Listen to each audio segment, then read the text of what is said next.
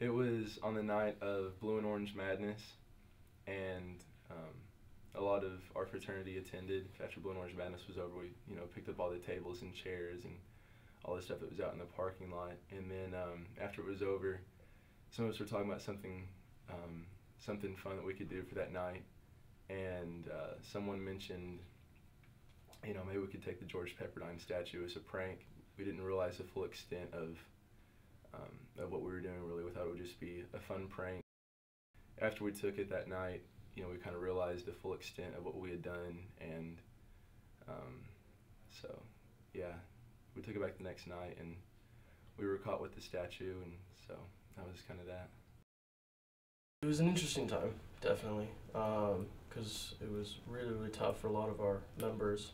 Kind of through some organization, we got together and we really admitted everything that we did, and we went straight to the administration as soon as we could.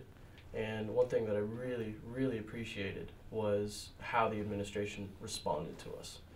Uh, I mean, of course, we had to go through different processes, uh, different judicial boards, and talk to almost everybody in the administration, pretty much all the way up to uh, President Benton. Um, but everybody that we talked to, that we had meetings with, was definitely just. They were very professional, and they really were, in a sense, caring. So I, I really would like to thank all the administration involved for making this process the best it could be.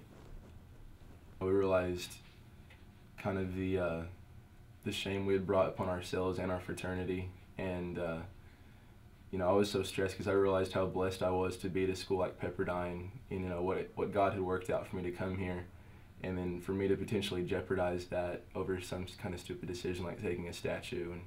Um, you know that was that was very stressful for me and uh, and for everyone involved.